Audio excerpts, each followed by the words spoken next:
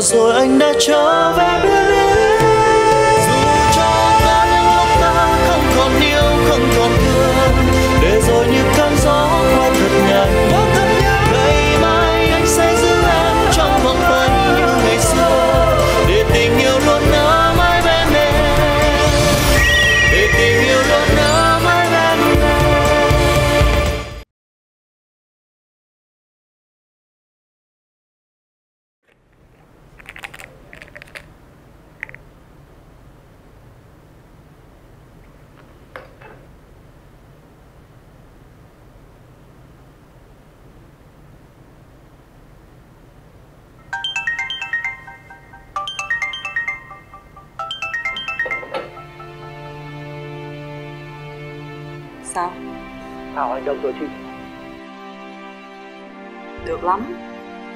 ta cũng gan lì lắm.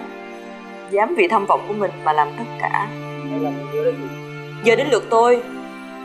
Cậu làm như vậy, Coi như là đủ rồi. Cứ đợi đó, Sẽ có phần thưởng xứng đáng cho cậu.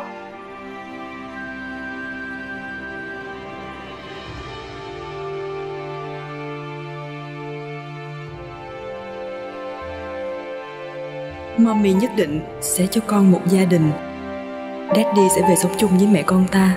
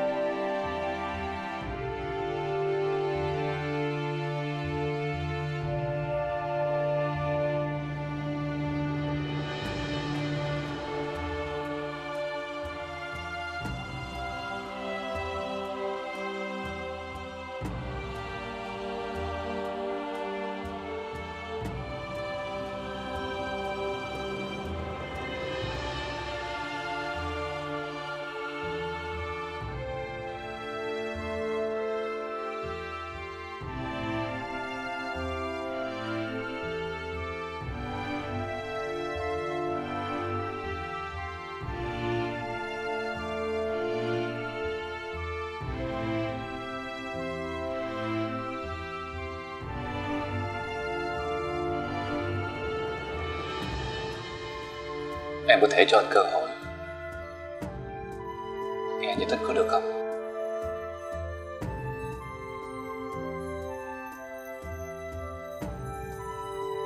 Anh đang ngủ tiếp đi. Anh cứ nghĩ là em vẫn bên cạnh anh. Anh thực sự không hiểu vì sao khi mở mắt ra đã thấy Thảo nằm bên cạnh mình. Em thừa biết trước tới giờ chưa bao giờ anh có ý đồ gì với Thảo. Hết Anh thực chất hiểu Anh chẳng hiểu chuyện gì đã xảy ra hết.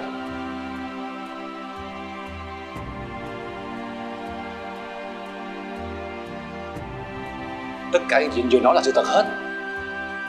Em làm ơn đừng im lặng nữa có được không?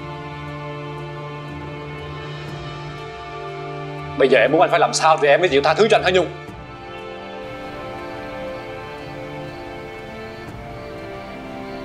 Anh hãy đám cưới với Thảo.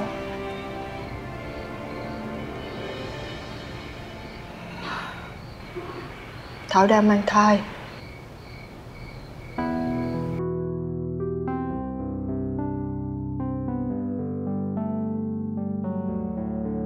Hãy thực hiện đúng lời hứa của mình. Tâm đợi. Rồi em sẽ tha thứ cho anh.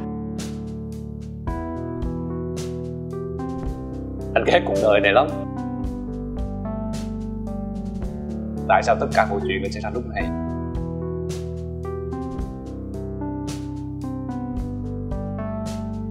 Khó khăn lắm. Mình mới tìm lại được với nhau. Anh luôn mong ước tới ngày là anh sẽ được nắm tay em. Rồi mình sẽ cùng nhau làm hôn lễ. Rồi sống thật hạnh phúc với những đứa con của mình trong ngôi nhà này.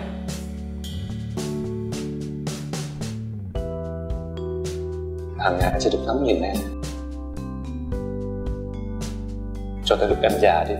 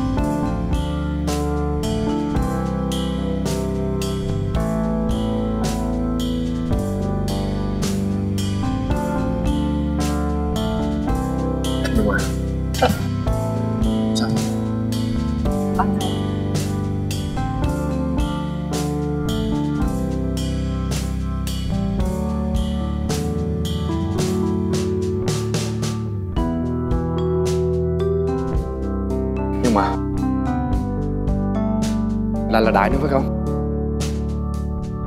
Đại sẽ không bao giờ mang lại hạnh phúc cho em đâu. Em đừng giấu anh nữa. Anh biết hết rồi.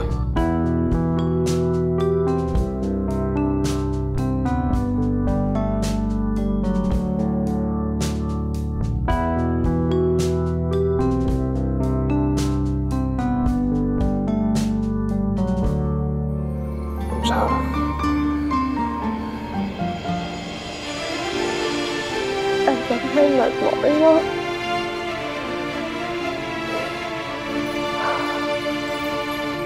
Anh hiểu mà. không sao đâu hay chỉ là trò chơi tách đố. Anh mong sao cho thời gian ngừng trôi thật dài để cho anh không phải xa em. Trong đau lúc con tim bị xe vỡ tan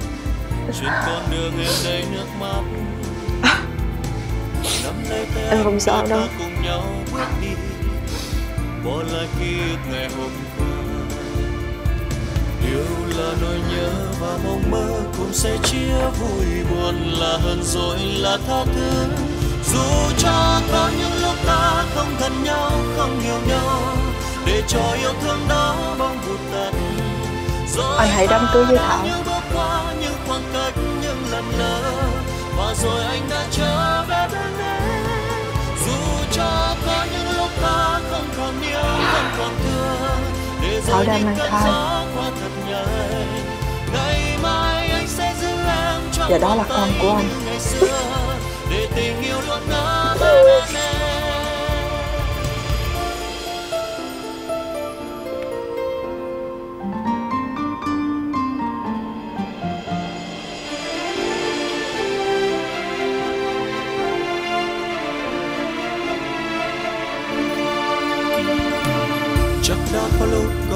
sẽ vỡ tan. Trên con đường em đầy nước mắt. Nắm lấy tay anh đôi ta cùng nhau bước đi, bỏ lại ký ức ngày hôm qua. Yêu là nỗi nhớ và mong mơ cũng sẽ chia vui, buồn là hơn rồi là tha thứ. Dù cho có những lúc ta không gần nhau, không hiểu nhau, để cho yêu thương đó mong Chạy. Chạy đi.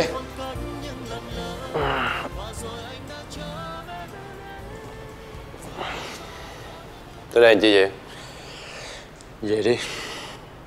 Bộ dạng này con thật là hiếm gặp đó.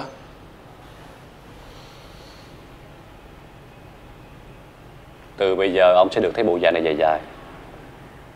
Hài lòng chưa? Tôi chọn sai đối thủ rồi Nhìn bộ dạng của ông kìa. Đúng là tôi đề cao ông quá rồi đó.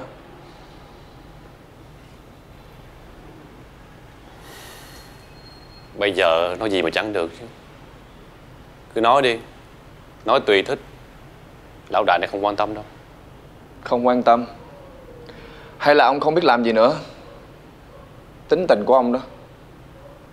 Lúc nào cũng thiếu nghiêm túc Lúc nào cũng cà rỡn. Làm cho Nhung phải đau khổ thêm một lần nữa Tôi đã sớm biết được chuyện này. Cho nên tôi mới không muốn ông gần Nhung Làm cho Nhung phải đau khổ. Chỉ ở bên cạnh tôi Nhung mới cảm thấy hạnh phúc mà thôi. Bây giờ ông thích nói gì? Ông muốn nghĩ gì cũng được hết. Tùy ông Tôi muốn ông chịu trách nhiệm những gì mà ông đã làm. Không phải bây giờ tôi đang chịu trách nhiệm sao? Tôi phải nghe lời của Nhung cưới Thảo nè. Chưa được nữa hả? Bây giờ Ông cứ làm theo những gì mà Nhung yêu cầu. Đó là cách tốt nhất. Còn Nhung thì cứ để tôi lo. Tôi chắc chắn một điều. Tôi sẽ không làm Nhung đau khổ giống như ông đâu. Ông thì biết cái gì chứ? Mọi chuyện xảy ra là phải ý của tôi đâu. Tới lúc này mà ông còn nóng giận với tôi nữa hả? Việc cưới sinh là chuyện ông phải làm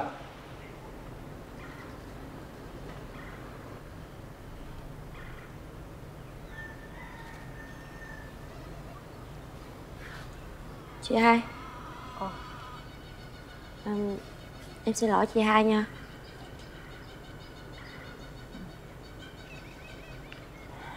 Em biết là Chị hai rất là buồn Nhưng mà em không thể nào dừng lại được. Chị hiểu mà. Chị cũng đã từng trải qua cảm giác giống như em.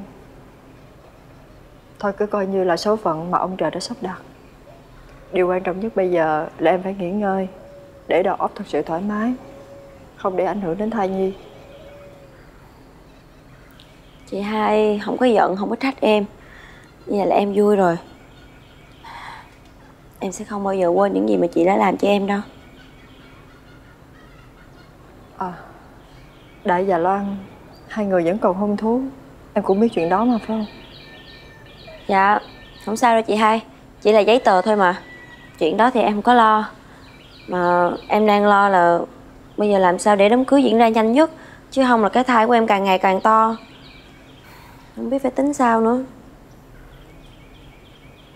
À Chị hai, Chị ờ, Chị nói chuyện với anh Đại chưa? Chị ờ, Chị khuyên ảnh giùm em chưa? Chị nói rồi. Em yên tâm đi. Chị đã thuyết phục được anh thì có chị hai. Như vậy á thì tốt quá. Vậy bây giờ chị hai liên lạc với ảnh Nói anh xuống liền nhà được không? Tại vì em muốn bàn cái chuyện đám cưới liền á. Chứ cái thai mà bự lên Em nhục nhã lắm.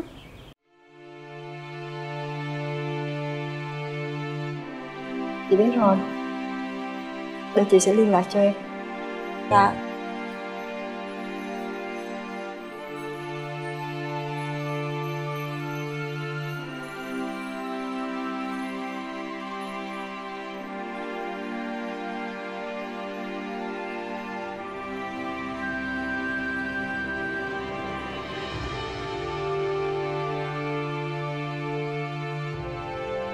phải nói nhiều nữa. Bây giờ tôi sẽ đi lo chuyện hôn nhân đại sự của tôi nè.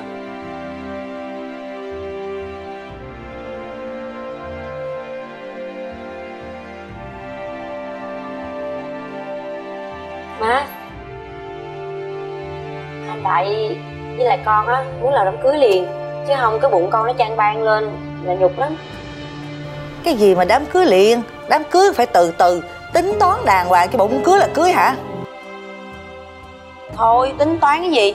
Con không cần cầu kỳ gì đâu đơn giản thôi được. Giống như tiếng với bé mơ đó. Trời ơi thằng tiến với con mơ là khác còn con là khác. Dù sao nữa con là con gái mà đời người á chỉ có một lần thôi. Phải tính toán đàng hoàng phải làm đám cưới cho nở mặt nở mày cái tao phải đơn giản như vậy. Trời Vậy là ba Đại không cưới mẹ Nhung mà cưới cô Thảo hả? nè con nít con nồi biết cái gì? Ra ngoài chơi đi con Ở đây người lớn nghe nói chuyện. Con ra ngoài chơi đi. Dạ. Giỏi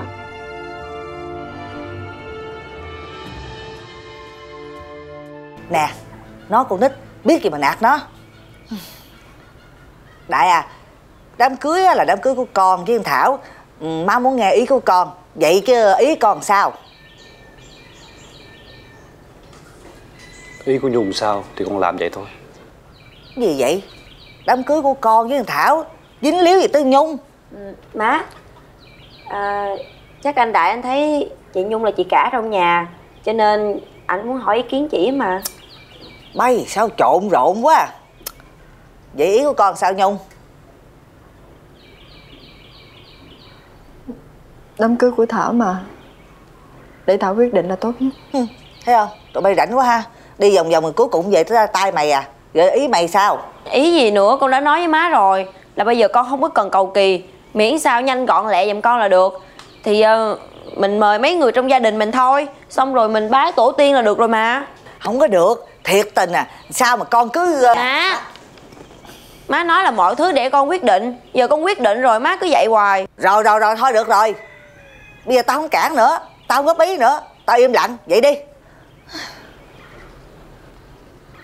Nếu mọi người đã quyết định rồi thì chốt vậy đi Con có việc phải đi đây? Con xin phép. Ờ, anh đại.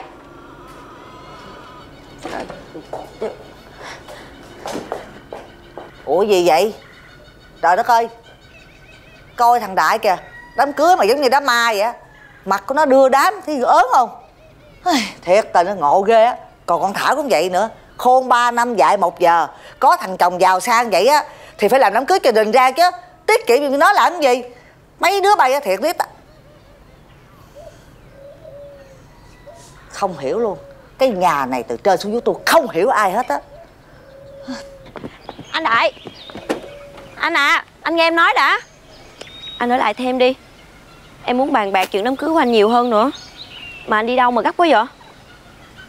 Chuyện riêng của anh em hỏi làm gì? Thì được rồi em không hỏi chuyện riêng của anh nhưng mà chuyện gì chuyện chuyện đám cưới của mình là quan trọng nhất. Anh quyết định làm đám cưới với em. Bởi vì anh nghe lời của Nhung thôi. Em đừng chạy theo làm phiền anh nữa có được không? Anh làm ơn đừng mở miệng ra nói những lời tàn nhẫn đó được không? Hả? Anh đại. Anh tin em đi. Sau này gia đình của mình chắc chắn sẽ hạnh phúc mà em sẽ hơn chị gấp trăm ngàn lần. Anh tin em nha. Nha. Anh cho em cơ hội đi. Từ trước tới giờ Anh chưa bao giờ xếp hạng Nhung hết. Bởi vì trong mắt của anh Chỉ có mình Nhung mà thôi.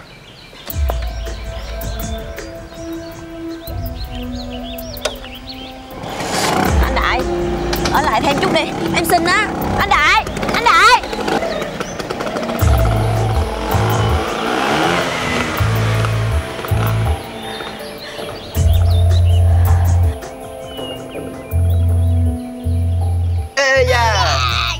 dây rung đồng tiền cưới vợ Đứt dây bầu ở đợi ba năm Vô bài. Ý, Cưng quá à. Ý, Vui không? Vui. Thôi giờ ba mệt rồi. Con xuống nha. Thôi chơi tí nữa đi ba. Nha chơi tí nữa rồi Tí nữa thôi. Tí nữa thôi nha. Hứa nha. Anh Đại Có lẽ cả đời này Em sẽ nợ anh một bí mật Bí mật về con của chúng ta. Nè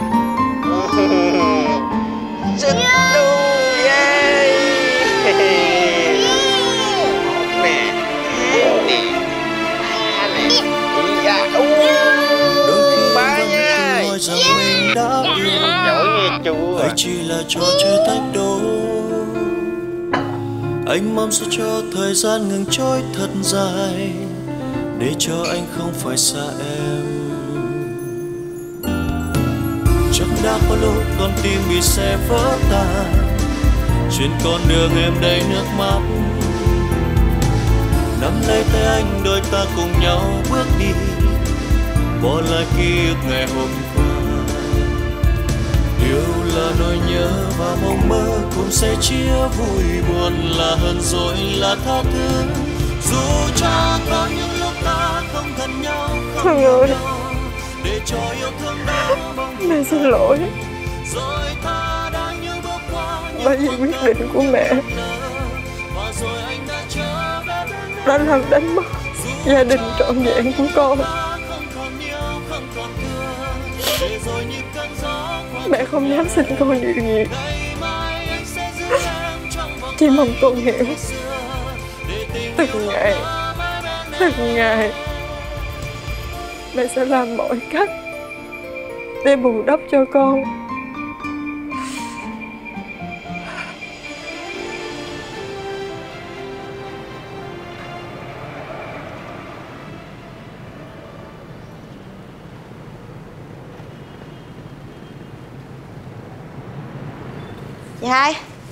Này được không? Em thấy sao? Có thoải mái không? Ờ, cái phần cổ này nó hơi khó chịu một tí nè Ừ, thôi nếu khó chịu Để chị chọn cho em mẫu khác. Anh Đại thiệt là kỳ. Hôm nay là ngày đi thử đồ cưới. Vậy mà em gọi điện thoại cháy máy không thèm nghe luôn. Không biết coi em ra cái gì nữa. Thôi để chị gọi thử coi sao Cứ để liên lạc hoài thành quen Phải chặn mới được. Ờ chị. Không cần gọi đâu. À, Đi thử đồ cưới thôi mà. Anh tới thì cũng ngồi không nhìn nhìn thôi à. Ok đi không cần gọi đâu nha. Chị. Dạ, dạ vậy chị, đợi em một xíu để em vô trong lấy cái váy khác chị nha.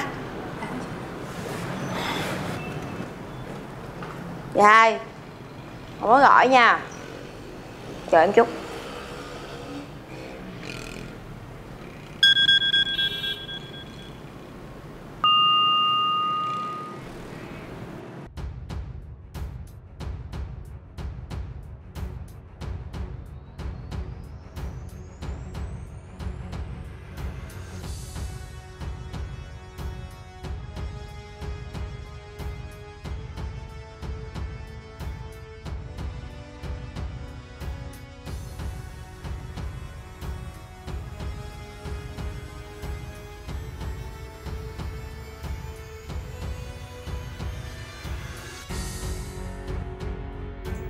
Cô uống gì?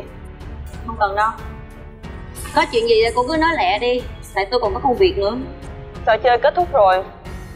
Cô nên tự nguyện rời khỏi anh Đại đi.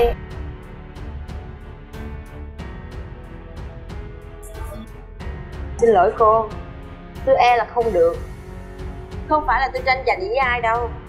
Nhưng những gì tôi làm là vì ảnh Vì con của ảnh Vì đứa bé cần cha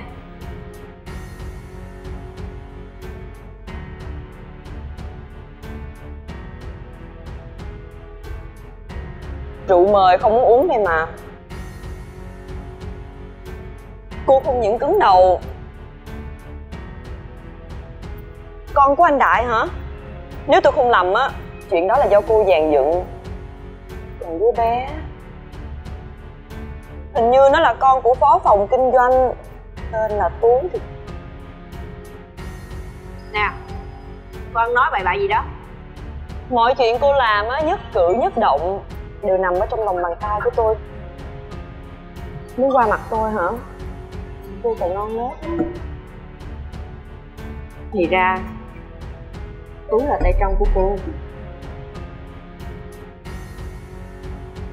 Cô đang hâm dọa tôi hả? Tôi đâu có sợ. Tôi không phải là một kẻ dễ bắt nạt đâu. Thôi được rồi. Tôi cho cô hai lựa chọn. Một, Rời khỏi anh Đại và cô sẽ nhận được một khoản tiền đủ lớn để cho hai mẹ con cô sống an nhàn cả đời. Hai, cô sẽ mất tất cả nếu cứ tiếp tục ngoan cố.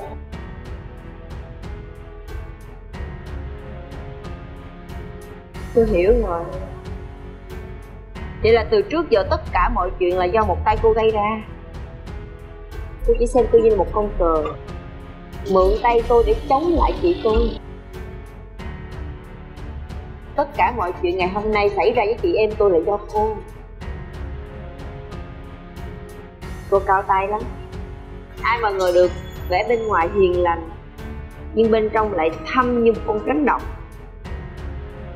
Cô thật là ghê gớm. Cô quá khen rồi. Trò chơi thì cũng là trò chơi thôi, có kẻ thắng, có người thua. Và tôi nghĩ á, người thua thì nên tự nguyện rút lui, vậy mới thông minh. Còn chuyện chị em cô hả? Cô nên coi lại lương tâm của mình đi đâu có ai cầm tay cô bắt cô làm cái này bắt cô làm cái kia. Tôi nói quá sớm rồi đó. Nếu như tất cả mọi chuyện nói cho anh đại biết thì tôi e là người thua cuộc là một người.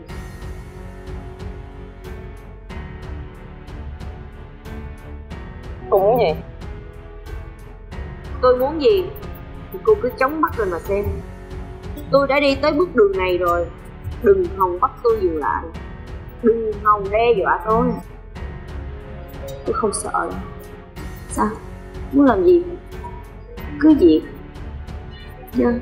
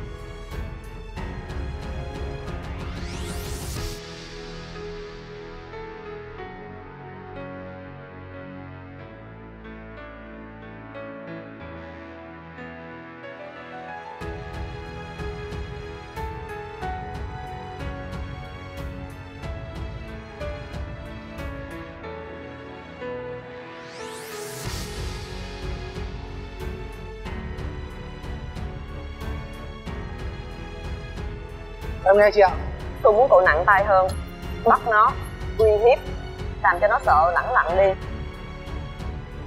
Cậu nghe rõ chưa? Dạ em nghe ạ. Nhưng ờ, nhưng như vậy là gì về pháp luật hả chị ạ? Chỉ là uy hiếp cho nó sợ bỏ đám cưới thôi. Tụi giang hồ á cho nó nhiều tiền một chút nó sẽ không để lộ đâu. Không có gì phải lo hết. Dạ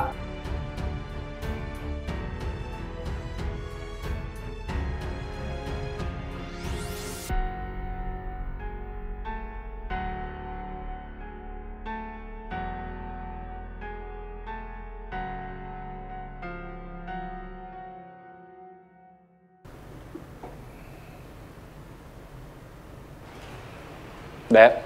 Đẹp đó. Cần gì phải khen chứ? Nhìn thái độ là biết rồi. Tôi tới đây là để chúc mừng ông mà. Với lại Ông đừng như vậy được không? Đâu phải ai cũng diễm phúc như ông đâu. Chưa 30 tuổi Mà đã lên xe hoa Mặc lễ phục hai lần rồi. Cảm ơn ông đã quá khen. Ông đó Khó chịu Để làm gì?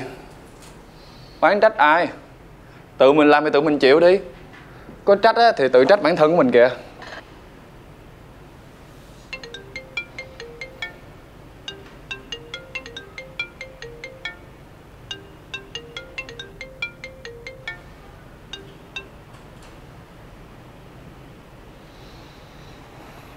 Có cần phải như vậy không?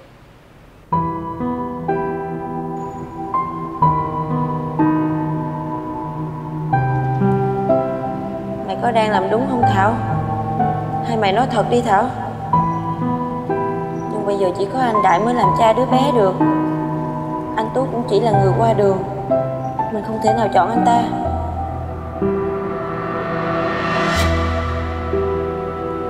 Phải đi tới cùng. Mình làm tất cả chỉ vì ngày này.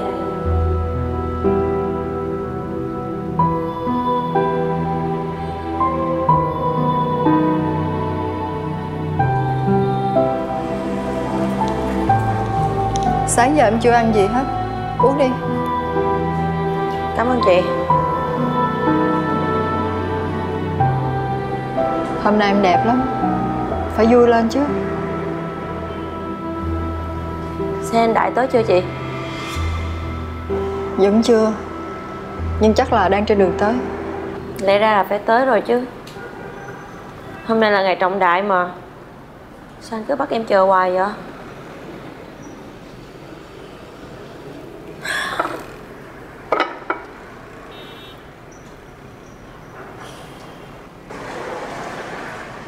Cho tôi hỏi ai là cô Thảo? Anh là ai? Tôi được cử đến để đón cô dâu ạ. À, tôi là Thảo nè. Anh đã cho anh tới đón tôi hả? à, Mời cô ra xe cho kịp giờ làm lễ. Dạ Đi chị hai, đi lại lên.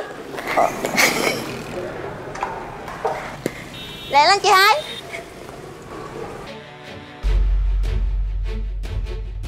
Thảo. Hả? Khoan đã để tôi gọi cho anh Đại. Hỏi tại sao anh lại không đến đó?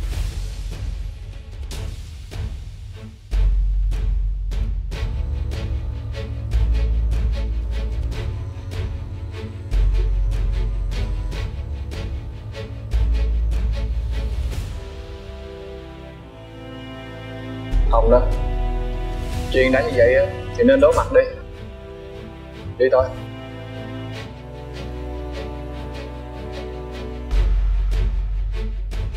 Tôi đang qua nè Tôi là nhân viên ở cuối Cô giao vào người đi cùng, bị bắt cóc rồi Cái gì? Bị bắt cóc hả? Chuyện gì vậy đại? Nhung với Thảo bị bắt cóc rồi Bắt cóc? Sao xảy ra được chuyện này chứ? Sao tôi biết được? Hay là ông lại bày trò gì nữa đúng không? Lại, bây giờ phải làm sao đây nè? Tôi có cả địa chỉ trên điện thoại của Nhung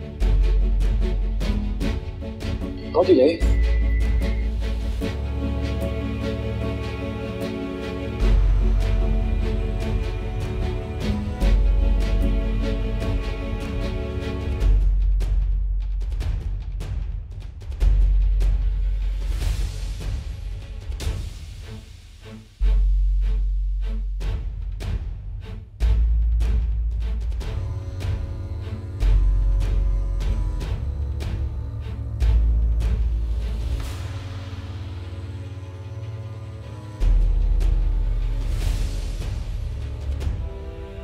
Em ngồi dậy được không?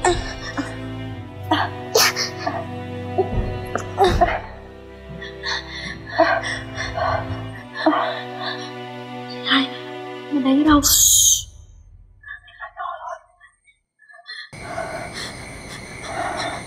Chị không hiểu tại sao lại xảy ra chuyện này Chắc là có nhầm lẫn gì ở đây Chứ chị em mình đâu gây thù trước quán gì với ai Không phải đâu Tụi nó nhầm vô em đó. Em biết tụi nó hả? Sao em lại khẳng định như vậy? Chắc chắn là cô ta làm. Cô ta nhắm vô em. Chị đừng hỏi lý do nữa. Bây giờ chị tìm cách gì Thoát ra đây đi. Em sợ lắm. Em bình tĩnh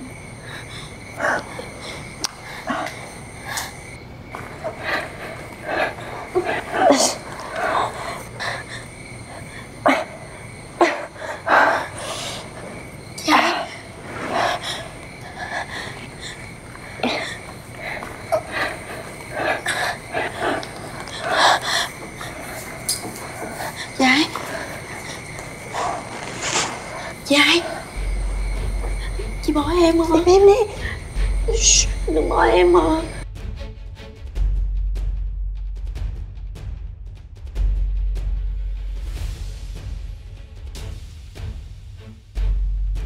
Tụi mày làm xong việc chưa?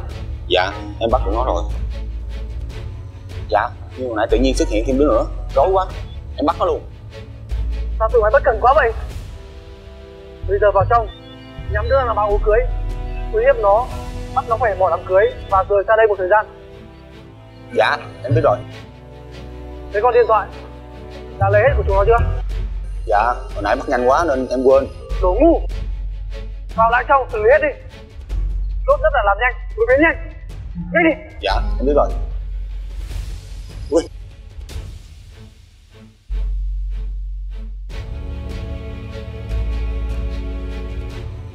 giờ tao lên đây cá vô mày làm cho nó vui vui miệng còn nhỏ kia tao thấy cũng ngon á. Lửa xử đi cái gì tao chịu cho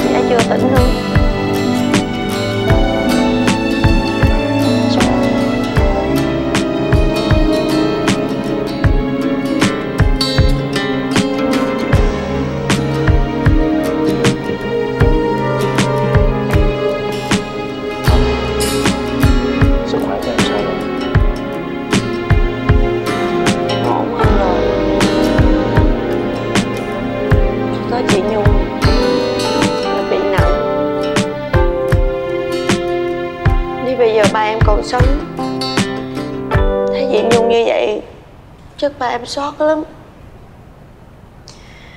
Vì ba em rất là thương chị nhung. Tất cả mọi người ai cũng rất là thương chị. Nhưng chỉ có riêng em, lúc nào cũng ganh tị. Em có cảm giác như là tất cả mọi người ai cũng yêu quý chị nhiều hơn.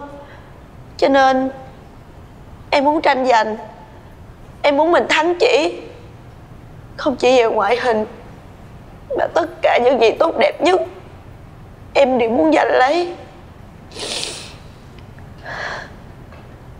Như vậy em mới hả dạ? Thảo nè Giờ em thấy sao rồi? Bây giờ em hối hận lắm em hối hận vì những việc mà em đã gây ra. Em mất hết rồi anh ạ ngay cả con em cũng mất rồi. Và sếp mất luôn cả chị nhung. Và còn làm liên lụy tới anh đại nữa. Em thấy mình có lỗi lắm. Em thấy mình rất là tệ. Em thấy mình xấu xa cảm thấy chán bản thân mình lắm Anh cảm giác của em mà. Em ích kỷ lắm đúng không anh. Chúng ta Ai cũng có phần ích kỷ. Chuyện cũng đã qua rồi. Anh nghĩ là Không ai muốn nhìn thấy em cứ dạy dò bản thân của mình hoài vậy đâu. Em đừng buồn nữa em sẽ tìm một người tốt, Yêu thương em. Và em sẽ cùng những người đó Có những đứa con thật là xinh xắn. Chỉ cần em luôn sống thật tốt, Thì mọi điều tốt đẹp sẽ tới với em.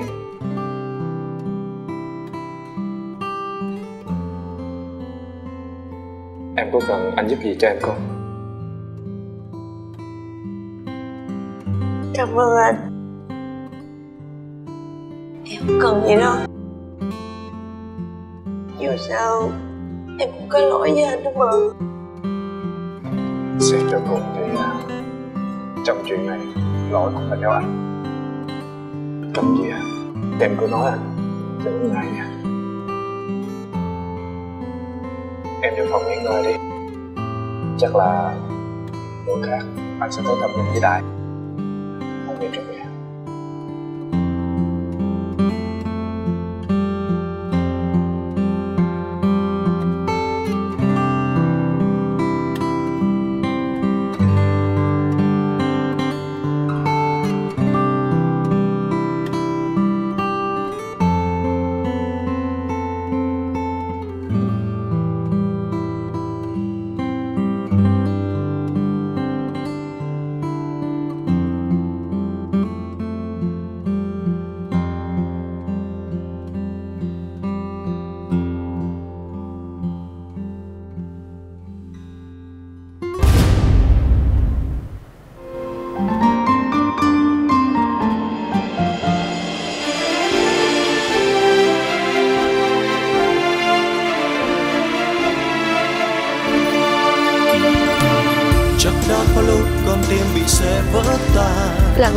Chị Nhung thời sinh viên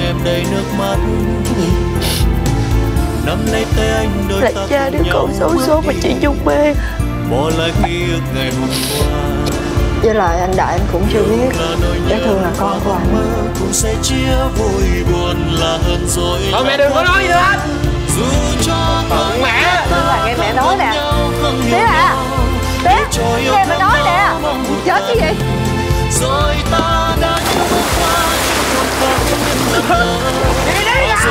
Thôi nhìn mặt mày đã biết không có tiền rồi. Thôi đi mày. Ê Chừng này đủ không? Tao phải là ba mày.